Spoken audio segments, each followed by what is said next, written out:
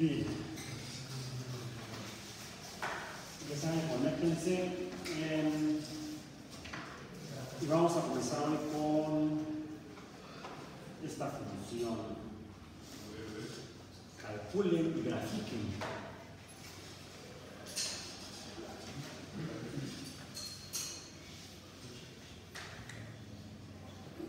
Y igual x cuadrada por el seno de 1 entre x. ¿Qué forma tiene eso? Recuerden que es una función trigonométrica, es una función seno. Entonces, para calcular el seno de x debemos eh, calcularlo con el x sería, sería el ángulo, la magnitud del ángulo, pero debemos medirlo en radianes. Eh, entre- ¿En qué intervalo vamos a, graficar? Una circunferencia un círculo tiene dos pi radianes. Entonces calculemos desde vamos a x y y, y sería el producto del seno por x cuadrada, x sería el ángulo al cuadrado. Calculemos desde, recuerden esto está en radianes, el ángulo x está en radianes, entonces calculemos desde, desde 2 punto 0 0 punto no pues 0 punto no. 1 punto 1.8 1.6 1.2 1 un radian 0.8 0.6, 0.4, 0.2, 0.0, menos 0.2. Vamos de positivos a negativos, es lo mismo de derecha a izquierda o de izquierda a derecha. 0.4 hasta 2 kilómetros. O es un poco de talacha, pero si lo hacen por parejas, pueden ir un poco más rápido.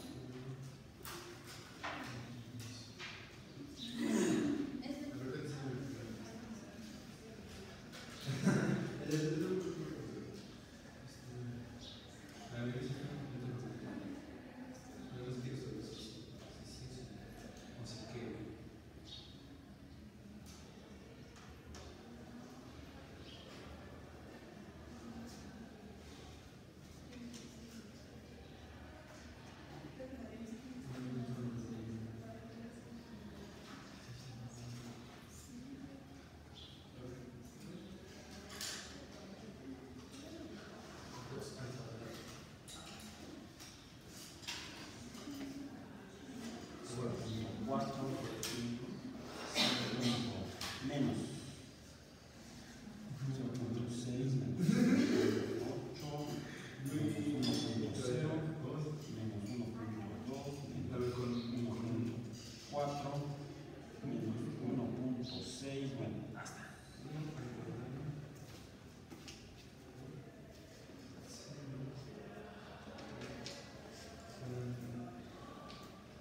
Si me pueden ir dictando los valores, los escribo aquí, para allí.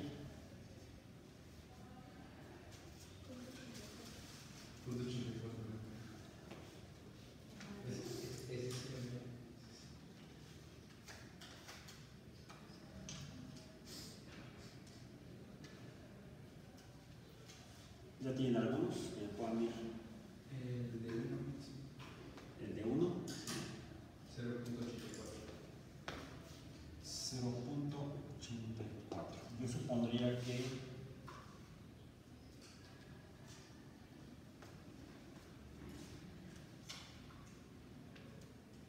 menos 1 sería algo parecido. tal vez.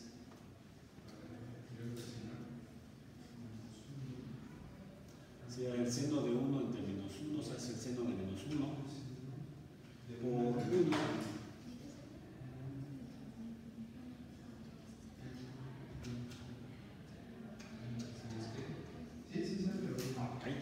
Entonces es simétrico.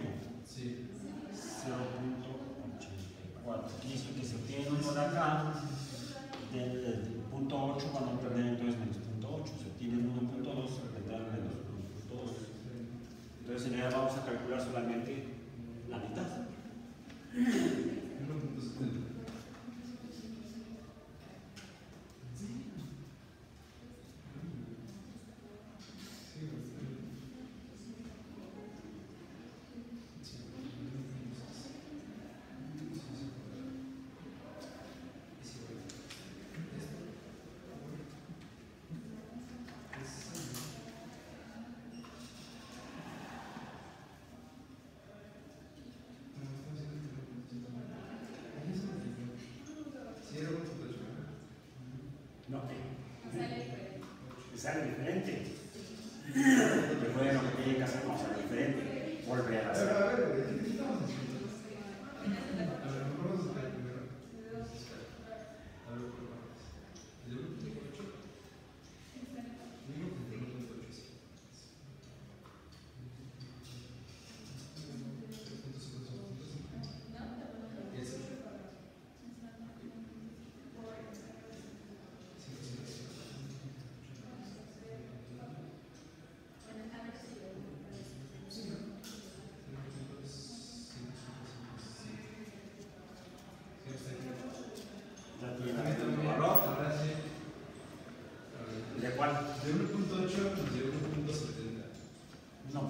1.8, 1.70. Entonces acá debo tener 1.70 para menos 1.8. ¿Cómo dijiste? Eh, Dios eh, sabe de matemáticas. Decía Galileo que la matemática era el lenguaje con el que Dios había escrito el universo. Pero Galileo era un profundo devoto católico. ¿sí? Eh, mencionamos que los árabes eh, desarrollaron el cálculo llamado álgebra. ¿Y para qué lo hicieron? Para poder rezarle mejor a Alá. Esa fue la motivación, realmente. Porque dicta el Corán que debe rezarse, creo que cinco veces al día, con la cabeza puesta eh, hacia la Meca. ¿Dónde está la Meca? No a Meca, Meca, acá por los volcanes, no. no sé. Está en algún lugar en Arabia, en la península arábiga. ¿Hacia dónde está la península arábiga?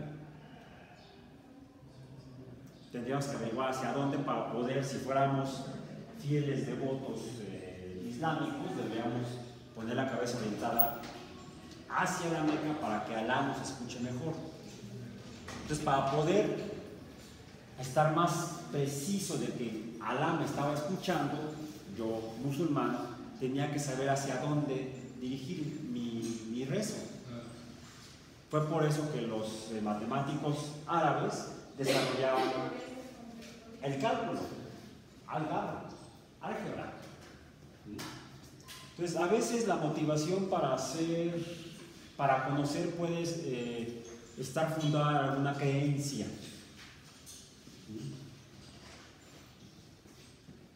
Sin embargo, termina reventando en la cara el hecho de que la, ese desarrollo de conocimiento te permite conocer el mundo y quizá tu creencia no era tan, tan real. Los eh, árabes creían, no, los egipcios creían en Ra, los, eh, algunos habitantes de Mesopotamia creían en Zoroastro, eh, los griegos creían en Cronos, Hera, Zeus, etcétera, etcétera. Los romanos cambiaban el nombre, Júpiter, Saturno, Tierra, Terra, en latín Terra. Eh, los eh, mayas creían en, eh, en Cuculcán, al cual en Mesoamérica, más al norte, en el altiplano, los mexicas, por ejemplo, le llamaban Texalcoatl.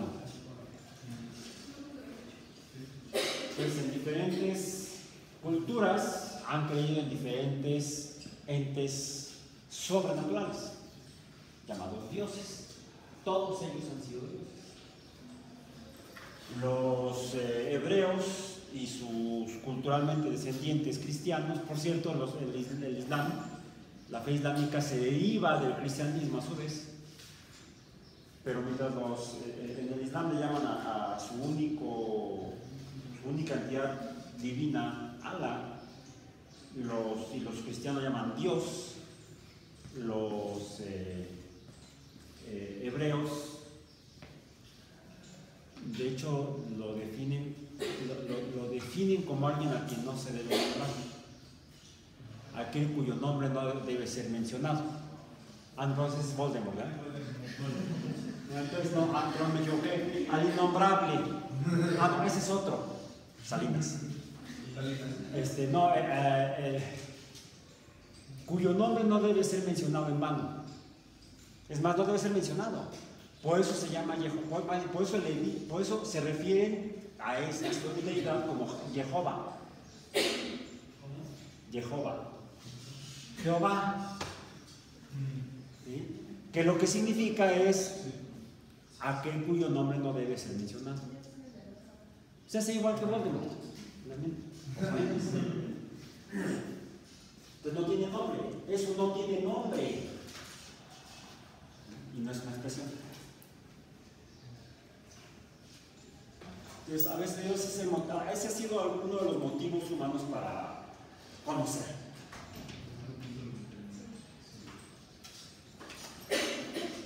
Y no ha sido el único caso de matemáticos que han desarrollado su matemática para Ah, este también lo decía, ¿no? Einstein era medio. Einstein, Einstein era un farsante. Socialmente era un farsante. Y al menos con sus dos esposas fue un farsante. Con Mileva y con su prima, a las dos es lo de vikingo, pero bien. Eh, él se refería a. hay una frase que cuando quienes definen la, mecánica cuántica, la física cuántica, eh, y sobre todo a partir del principio de incertidumbre de Heisenberg, Einstein termina expresando que eh, no cree en la mecánica cuántica y en la incertidumbre porque no cree que Dios juegue con la naturaleza a los dados. Entonces, eh, asumen que entonces Dios, este, eh, Einstein es teísta, es creyente, es de origen hebreo, étnicamente es hebreo, pero entonces, suponen que él profesa la, la fe judía. En realidad era bastante ateo. Entonces, ¿por qué apeló a Dios? Fue una frase. Fue una frase de desconfianza hacia las predicciones de la mecánica cuántica. Si él estaba más en, una- la creencia de que la mejor descripción de la universo tenía que ser una, una definición determinista, no indeterminista o indeterminada, que es lo que plantea la, la incertidumbre. Y en un momento cuando le preguntaban sobre si él creía en algún Dios, él apelaba al filósofo judío Spinoza, cuya visión del Dios judío es su expresión en la naturaleza. Entonces es, un poco cuando le preguntan, orillan a Einstein preguntándole si él es creyente, pues él este, af- afirma que en todo caso su Dios sería el Dios de Spinoza.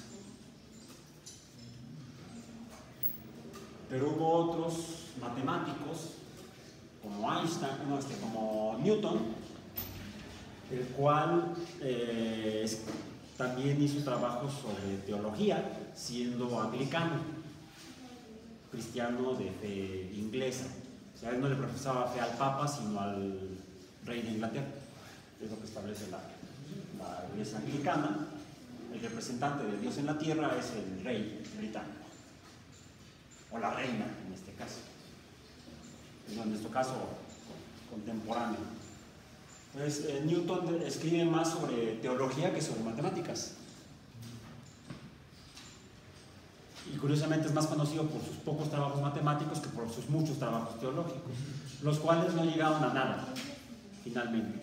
No aportaron realmente nada ni a la teología. En cambio, lo poco proporcionalmente que hizo en matemáticas fue trascendental. Estamos atrapados en el mundo de Newton en cuanto a este curso. Eh, la finalidad es entender el cálculo newtoniano, el cálculo diferencial, el cálculo integral. El cual lo desarrolló para poder explicarse el movimiento planetario esa supuesta armonía imaginada por Kepler, poder explicarla y predecirla matemáticamente. Llega a desarrollar la cuarta ley de Newton, la ley de la fuerza gravitacional, la cual se aplica a dos cuerpos. Recordemos aquí rápidamente cuál es la ecuación, la cuarta, la ecuación de la cuarta ley de Newton, así le llamo, yo y a La fuerza gravitacional depende o es igual a una constante, un número constante, que era un coeficiente, un coeficiente gravitacional, inversamente proporcional al cuadrado de la distancia o del radio que separa ambos cuerpos, a los cuerpos que se atraen por fuerza gravitacional, multiplicado por el producto de las masas, de las masas de ambos cuerpos. Entonces, es una ecuación que describe la fuerza dependiente de la interacción entre dos cuerpos. Entonces podría explicar perfectamente cuál era la fuerza por la que interactuaban la Tierra y la Luna, el Sol y la Tierra, Marte y el Sol, Venus y el Sol, pero otra tragedia, en el sistema solar, al menos hasta ese momento, se conocían siete astros, el Sol, la Luna, la Tierra, ¿qué? Tres, eh, Venus, Mercurio, Venus, no era este, Marte y Júpiter. Ah, Saturno, entonces, ¿cuántos? ¿Ocho? Ah, si quitamos a la Tierra serían siete. Eran los siete astros de los antiguos. Ya incluimos después de Copérnico a la Tierra también como un astro, ya son ocho, ya no fueron siete y todos ellos interactúan entre sí. Resulta que esta es una, a nivel del sistema solar, el sistema solar está gobernado por la interacción no entre dos cuerpos, sino entre ocho cuerpos. Calcular esto para ocho cuerpos ya no lo pudo hacer Newton. Y entonces dijo que no lo podía explicar. Que eso solamente podía ser explicado por el poder de Dios. Así termina, así termina escrita, este, el texto de los principios matemáticos de la filosofía natural escrito por Newton en 1686. Termina apelando a una explicación divina. Porque no contaba con computadoras para hacer esos cálculos, básicamente. Hoy en día, no solamente podemos calcularlo para ocho cuerpos, sino que desde entonces descubrieron otros dos grandes planetas gaseosos, Urano y Neptuno, otros cuerpos que en un momento dado se consideraban planetas, después ya no, como Ceres, eh, que está en el cinturón de asteroides, es esférico, relativamente grande, pero orbita con otros cuerpos, otros asteroides, pues que no se considera planeta. Plutón, que se encuentra más allá de Neptuno, pero que a su vez está, orbita a una trayectoria junto con otros cuatro cuerpos. El sistema plutoniano está formado por cinco cuerpos astronómicos. Y más allá está Umea, Makemake y no sé quién es más en el sistema solar. Y el sistema solar a su vez forma parte de otros múltiples sistemas estelares en la galaxia de la Vía Láctea que está formada por más de 100 mil millones de estrellas. Entonces, ¿cuál es la fuerza que gobierna la Vía Láctea? Esta ecuación para 100 mil millones de cuerpos Más. Porque ahora sabemos que no solamente la estrella llamada Sol cuenta con planetas orbitando alrededor de él, sino que desde que se puso el telescopio Kepler en órbita, se han descubierto ya más de mil planetas alrededor de otras estrellas en la Vía Láctea. Supongamos que un número promedio de estrellas por, de planetas por estrella es 5, no, 9, no 8 o 9 como en el sistema solar. ¿Cuántas, ¿Cuántos cuerpos planetarios, cuántos cuerpos astronómicos, entre planetas y estrellas, sin considerar asteroides, cometas y otros, habría en la Vía Láctea? Pues 100.000 o 6, la estrella y sus 5 planetas. ¿Cuántos son? Muchos. Imagínense que Newton tratara de calcular eso. No podía. Ok, ¿ya tienen los demás números? A ver, para 2, Me salió. para 2, no para 2. 1.91. 1.91. 1.6, 1.49. 49. 1.2, 1.27. Ah, no, espera. Ah, es que no puso el 4, ya se lo he puesto. El 1.4. Ah. En los Uno X. en 1.6, 1.4. 1.49, pero si digo que se saltó del 6 al 2 y no puso el 4. ah, sí, cierto. 12. 1.4, tiene razón. ¿Aquí cuánto sería? 1.28. 1.28. Luego 1.2. 1.06. 106. Punto 84, luego Eh, punto 60. 1.60. No, 0.60. Ah, 0.60. 0.35. 0.09. Menos 0.03. Menos 0.03. Esto es con punto más punto 2. Ajá. Ok. Y el 0 no está definido. Y pues. Pero aquí si se repite sería eh, menos 0.03, 0.09, 0.35, 0.60, 0.84, 1.06, 1.28. Miren, aquí no me lo comí, menos 1.4. 1.49, 1.70 y 1.91. Por cierto, aquí obtuvieron un número negativo. Sí. ¿Por qué negativo aquí para Y y los demás positivos? Quizás si calcularan no solamente 2, 1, 8, 1, 6, sino lo hicieran 2, 1, 9, 1, 8, 1, 7, 1, 6, encontrarían que esta función, esta función, si ustedes ven la gráfica que les compartí, hace algo así. Bueno, aquí cero. ¿Sí? Está no muy bonita, la, más bien, en la gráfica no se aprecia muy bien, pero háganlo en su casa con su Excel y lo van a graficar. ¿Bien? O con algún otro programa de graficación. Lo que encontramos es que aquí, cuando x es igual a 0, y está no definido. Por lo tanto, entonces, esta función es una función límite, será el límite de x cuadrada por el seno de 1 entre x, cuando x tiende a cuánto? A 0.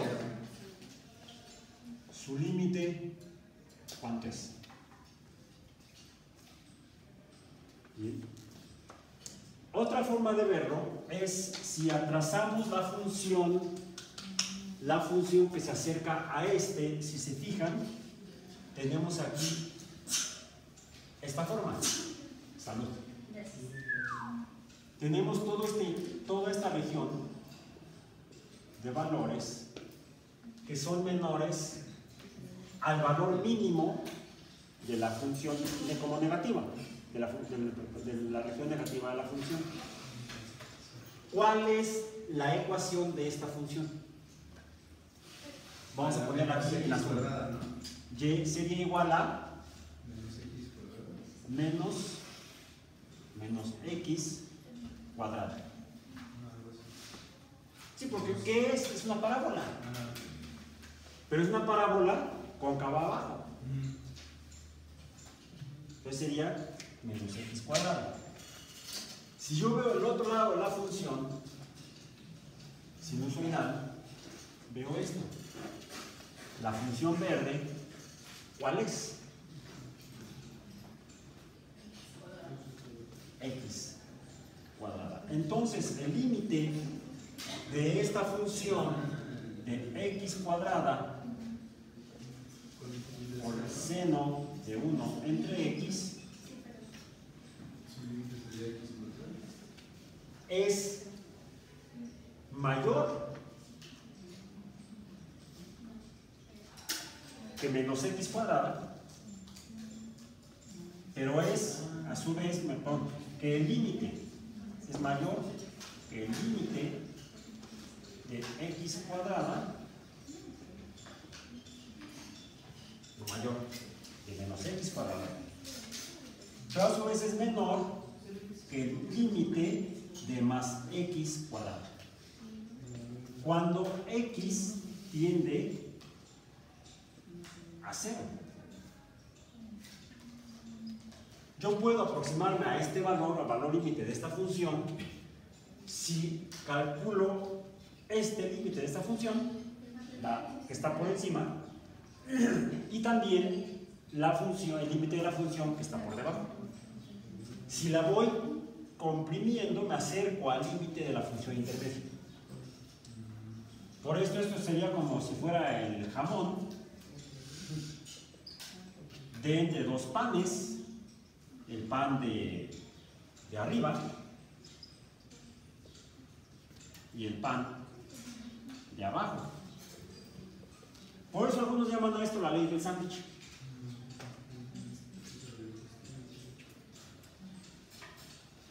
Me acerco al límite de la función intermedia calculando el límite de las dos funciones, la superior y la inferior. Una forma de poder aproximarme a este límite de esta función. Eh, por eso es que en la gráfica que les compartí están las otras dos funciones expresadas. ¿Sí las vieron? Sí. Eh, x cuadrada, son las últimas dos, x cuadrada y menos x cuadrada. Y están de hecho dibujadas por encima y por debajo. Si amplían la imagen, van a ver que se aprecia un poquito eh, la curva sinusoidal, que sube y baja, sube y baja, de la función x cuadrada por el seno de 1 entre x. También está escrita la función eh, la función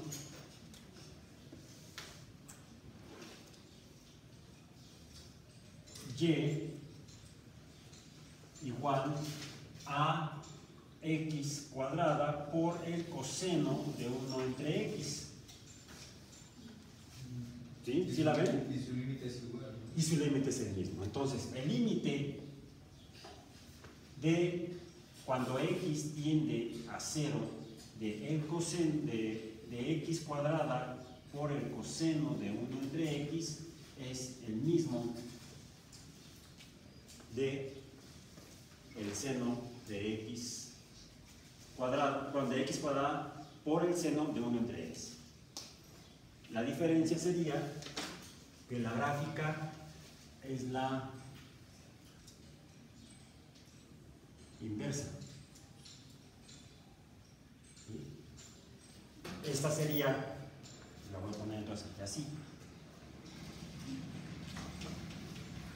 Y, es la negra, igual a x cuadrada coseno de 1 entre x. Mientras que la roja es x cuadrada Vamos a escribir aquí límite cuando x tiende a 0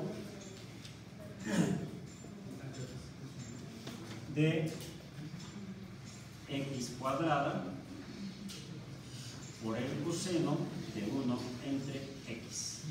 Vamos un poquito de esta negra de acá. Es más, corrijamos. Pongamos acá la función original, que era y igual a x cuadrada por el seno de 1 entre x. Es la que graficamos aquí. Tabulamos aquí. Si continuamos la gráfica, pues aquí tendríamos esto. Recuerden que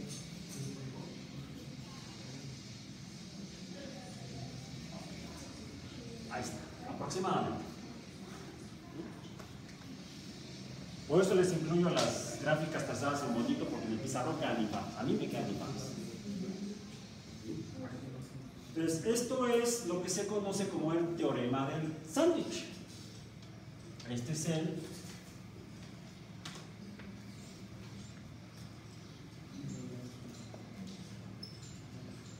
teorema del sándwich.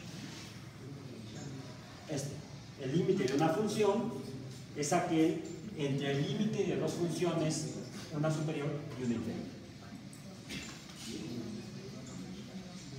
Es a veces una forma de poder obtener el límite de una función un tanto compleja a partir del límite de otras dos funciones similares, pero más simples.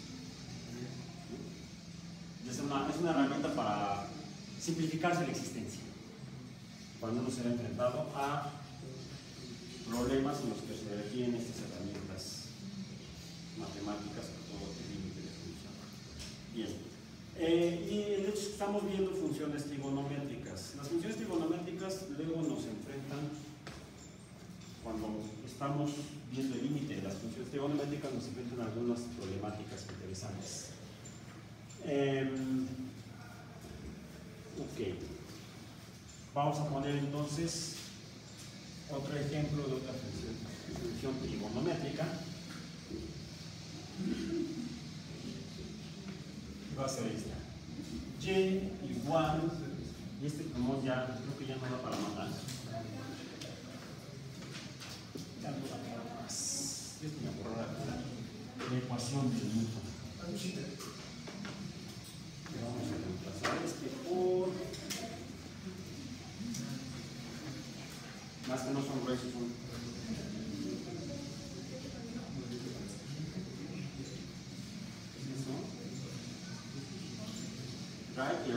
sí, se supone que se debe borrar. Porque luego uno se equivoca y usa indelebles para el pizarro. Y se fastidia.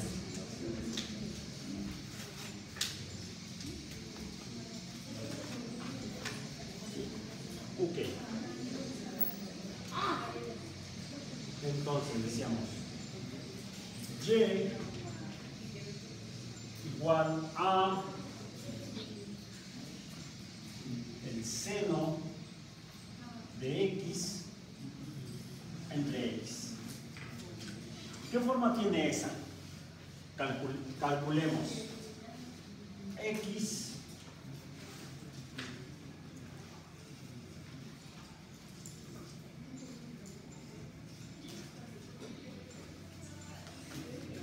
y y desde x igual a, recuerden, radianes, ¿eh?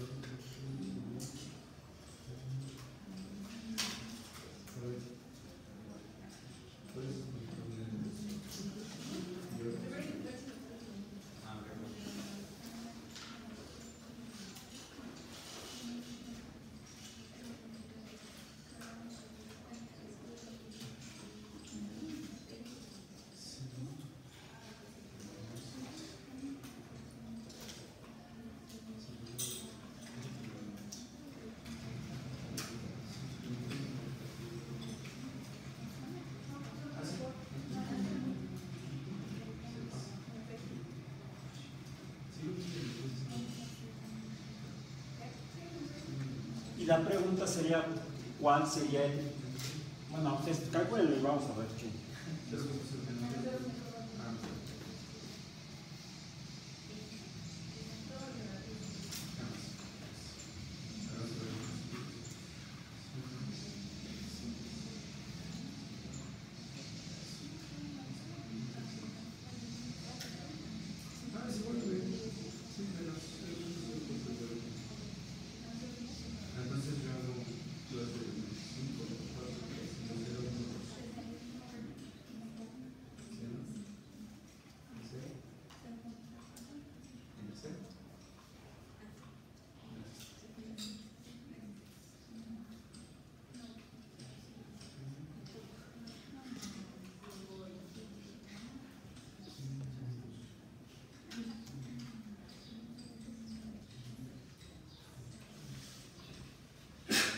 Son.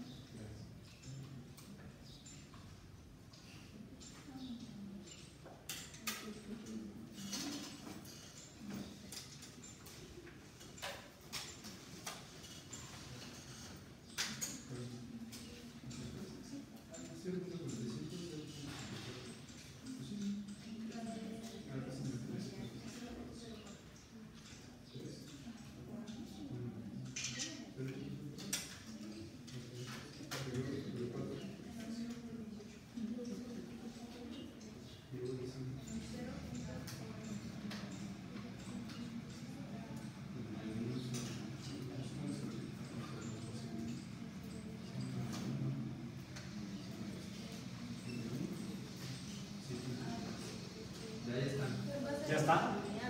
¿Eh? Va a ser lineal. Va a ser lineal. ¿Usaron, usaste radianes?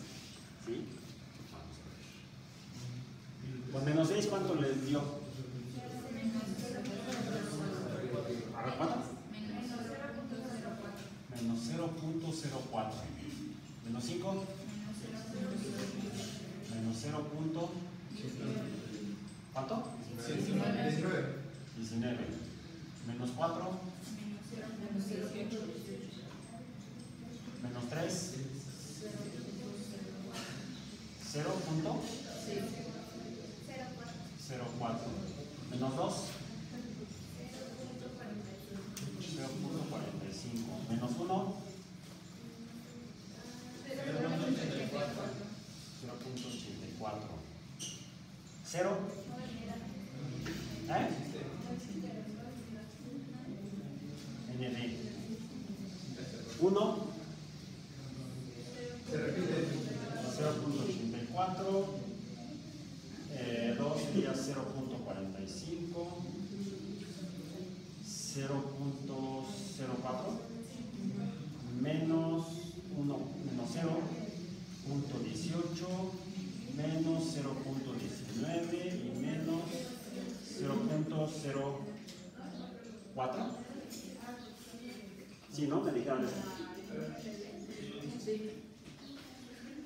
Entonces, eh, ¿es lineal? No, parábola. ¿Es una parábola? No. No. A ver, No olvides. menos 0.04. O sea, es pequeñito, negativo. Luego aumenta la negatividad. Luego se reduce. Vuelve a ser 0.4, pero positivo. Entonces, es una función sinusoidal. Sí, verdad. ¿sí? Pero, pero es al revés, hace algo así. Pasa de negativo, luego positivo, y luego en cero, ¿a cuánto se aproxima? Va de punto, punto 04, punto 45, punto 84, Se aproxima a uno. se aproxima a 1. El límite tiende. Aquí lo que te- necesitaríamos saber cuál es el límite de la función, el límite del seno de, seno de x entre x cuando x tiende a Cero. 0. Límite sería uno. ¿A cuánto se parece? A uno. A 1, se parece a 1 porque va- va hacia la unidad, de repente no se define y luego vuelve a reducirse. O sea, como que estaría por aquí, vamos a decir, si este fuera 1. Parece que haría algo así.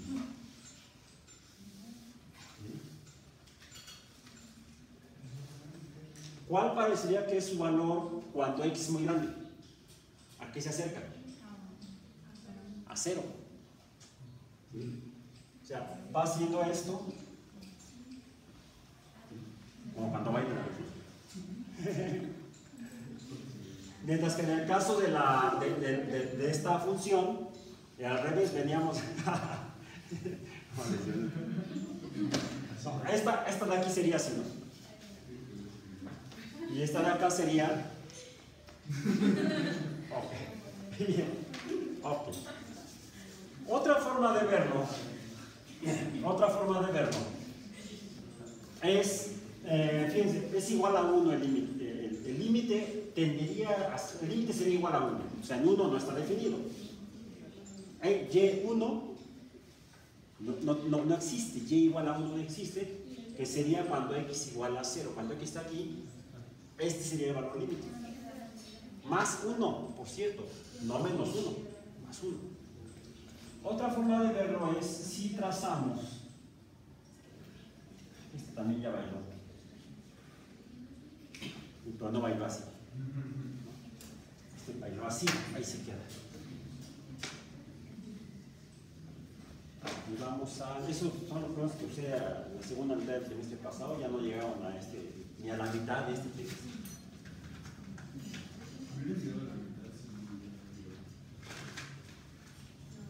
Ok. Extraño los pizarrones verdes. Son más prácticos en ese sentido. Uno se consigue un pedazo de yeso en la calle y puede empezar a escribir. Cambio, con estos no. Ok. Si yo trazo un círculo de radio 1, digamos que es aproximadamente dos, dos pulmones,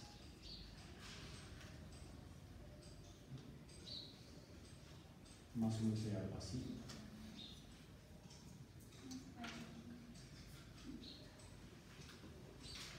Aproximadamente un círculo de, de aquí a acá, del 0 a acá, es un Y. En X, de aquí a acá sería 1. Acá sería menos 1. Y acá sería menos 1 en menos y. Aquí sería en menos. A esto le puedo llamar un círculo de radio 1 o un círculo unitario, dado que su radio es la unidad 1.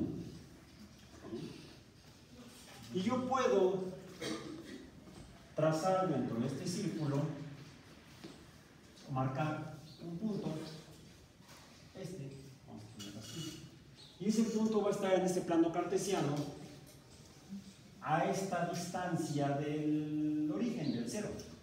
¿Cuál es la distancia de aquí a acá? 1. Entonces tengo acá que corresponde a este valor de x. Esta x. x n. Conozco esto. ¿Cuánto mide esa longitud? 1. ¿Y qué se ha formado? Un triángulo. Como triángulo rectángulo, entonces yo puedo describirlo con base en qué? En funciones trigonométricas. Funciones trigonométricas. Puede ser el seno. ¿El seno cómo se define? Revisen el seno de este ángulo. Llamémosle por convención o por, por tradición teta. El seno del ángulo teta con el ángulo vamos a cambiarle. Recuerden que este ya no es un sistema cartesiano, es un sistema polar. Entonces ya los ejes no se llaman X y Y. Tengo un círculo unitario en unas coordenadas, en un sistema de coordenadas polares. Y entonces el ángulo teta ya no se llama teta, ahora ¿cómo se llama? X. X es el valor del ángulo en radianes. ¿Cuándo uso funciones trigonométricas? Una función trigonométrica me describe ángulos. Ángulos. No puntos en un espacio plano. No puntos respecto al eje de X. No. Respecto al eje horizontal, X me representa la magnitud del ángulo. Entonces, aquí debemos cambiar nuestra concepción del mundo. De un mundo cartesiano a un mundo polar. Entonces hablan de calentamiento global y ahora va a ser polar, ahora va a ser un enfriamiento global. No, es otra cosa. Ok, bien. Entonces, sustituyo teta por x. ¿Cómo defino entonces el seno de x? ¿Ya consultaron con sus apuntes? El seno, ¿cómo lo defino? Sería el lado opuesto entre la magnitud de la hipotenusa, donde h es igual a 1. Esto mire, ¿no? En el círculo unitario. Eh, X es el ángulo. Seno de. Entonces, X es el ángulo. Del ángulo. Eh, ¿Cuál es la siguiente función trigonométrica? El coseno de X. ¿Cómo se define? El lado adyacente entre la hipotenusa. Y la tercera función, que es la función tangente del ángulo X, ¿cuál es? Sería el opuesto sobre el adyacente. Ahora, para ese punto, para ese punto en ese espacio polar, en las coordenadas polares, ¿cuál es la definición de su ubicación en ese espacio polar?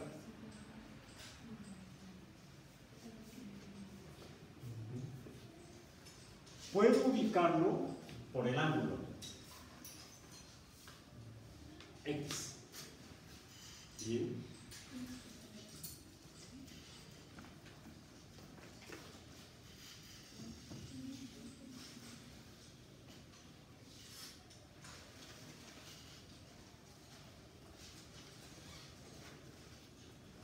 ¿Cuánto mide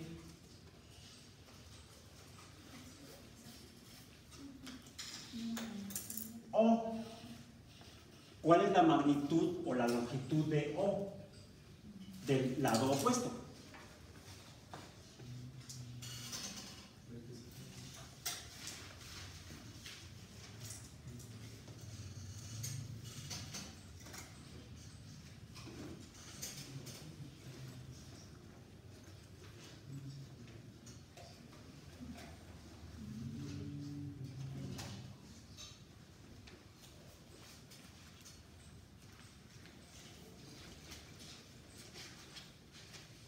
¿Ya lo tienen ahí?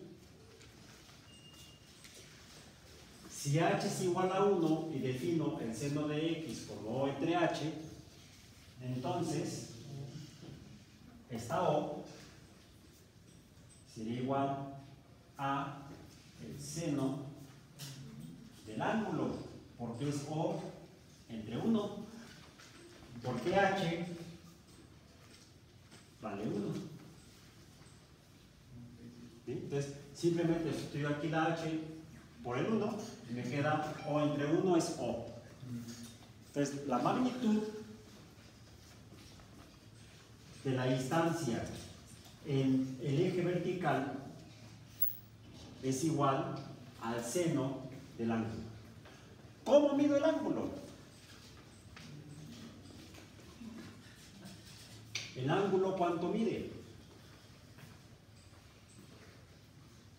El ángulo es igual, lo voy a dibujar con otro color, espero que con el verde se vea. El ángulo es este, ¿no? Y el ángulo se mantiene.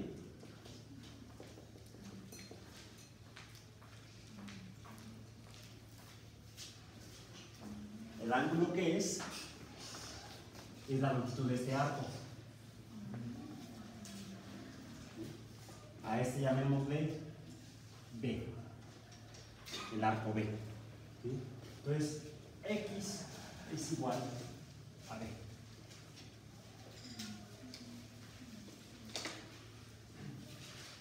Y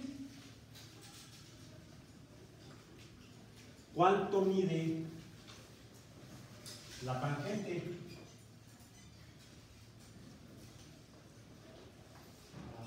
¿Cuánto mide la tangente?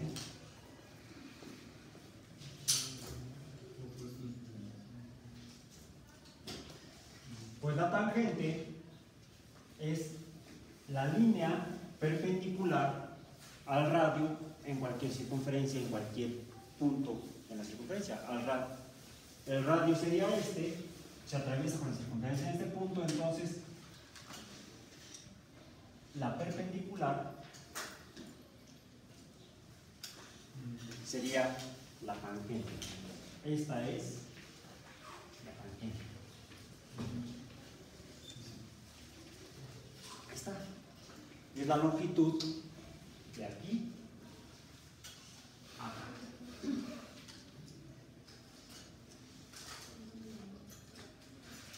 De la línea tangente a este triángulo grandote. ¿Sí? Este triángulo. El triángulo rojo.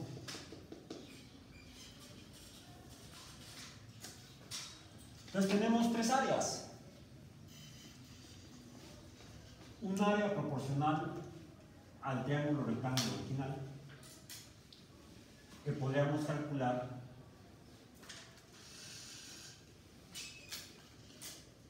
como el área de este triángulo.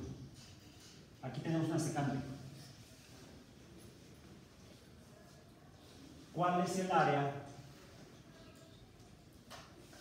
del triángulo azul? ¿Cuál es el área del triángulo azul? ¿Cuánto mide el área del triángulo azul?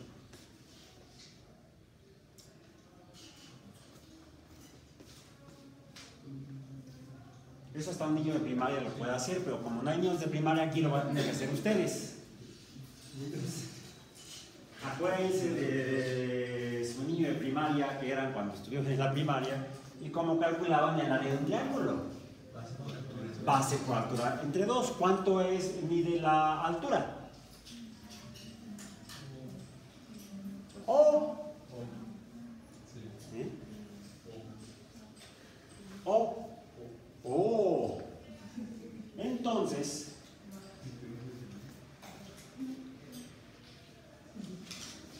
el área del triángulo A es base por altura entre 2, termina siendo un medio del seno de X.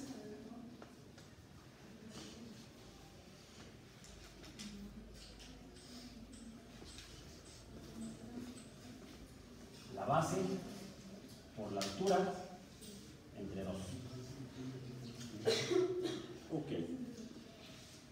Es un medio del seno de X. ¿Cuál es el área de la figura verde? No es un triángulo.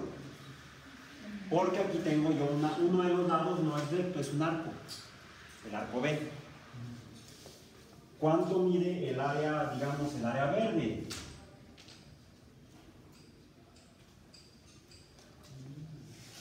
El área verde, ¿cuánto mide?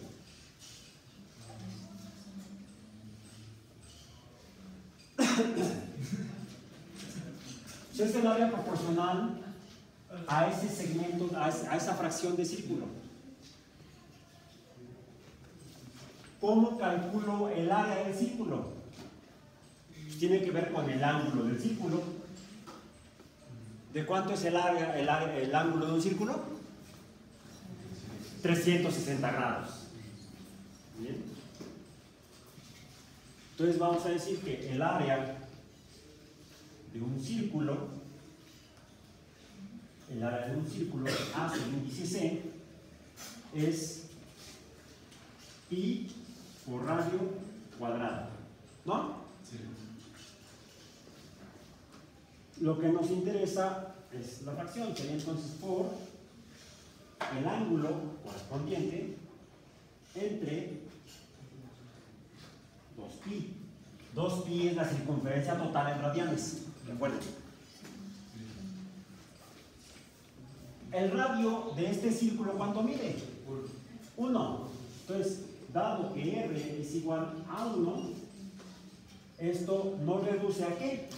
Pi entre pi es igual a 1, R es igual a 1, entonces el área verde es igual a un medio de x. x entre 2.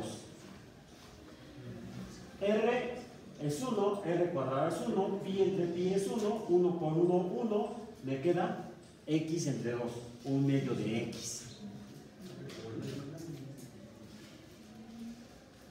Y finalmente, ya mi edad y mi estado. ¿Cuánto mide el triángulo rojo? ¿Cuánto mide el área? El área del triángulo rojo. Otra vez, es un triángulo. ¿Cómo mido el área de ese triángulo? Base por altura entre 2. ¿Cuánto mide la base? No se acostumbren a ver siempre la base abajo. Porque diría, es que necesito conocer la base, la altura entre 2. No, espérense chicos. ¿Perdón? Uno puede ser. Podría ser 1 o podría ser la tangente. Finalmente es un triángulo rectángulo, entonces yo puedo pararme de cabeza y considerar que esta es la base y me, simpli- me simplifica el modelo del triángulo. Entonces el área sería base por altura entre 2. ¿La base cuánto mide? La tangente de x. Por la altura, ¿cuánto mide la altura? 1. La altura es esta. 1 por 1, vamos a decir por 1, entre 2. Me simplifica la definición del área del triángulo rojo a un medio de la tangente del ángulo x. Y encuentro entonces que hay una proporcionalidad entre estas tres funciones. ¿Cuál es la más pequeña? El triángulo azul. Termina entonces. ¿Dónde quedó como negro? Acá está. Termino concluyendo que para esta relación de triángulos dentro de un círculo de área 1, de, de- de longitud de radio 1, que corresponde al límite de esta función, que está el seno, esta función. Sería entonces el seno de x, su límite, cuando x tiende a 0, es menor que el límite de un medio entre x cuando x tiende a 0 y es menor, lo veo en las áreas. Esta área grandota, esta, perdón, esta área azul es más pequeña que el área verde porque es el área azul más el área de este arco, el, área entre el arco y la secante. Entonces, por lo tanto, esta área verde es mayor, esta área verde es mayor, y a su vez, bueno, es mayor que la azul, pero a su vez esta área verde es menor que el límite de un medio tangente de x cuando x tiende a cero.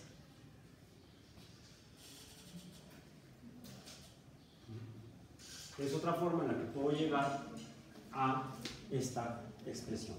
Y con eso terminamos de revisar las, el teorema del sándwich para la resolución de funciones límite de límite en funciones trigonométricas y otra visualización del límite de funciones trigonométricas. El lunes comenzaremos entonces con un nuevo tema. Con esto terminamos hoy el tema de límites de funciones.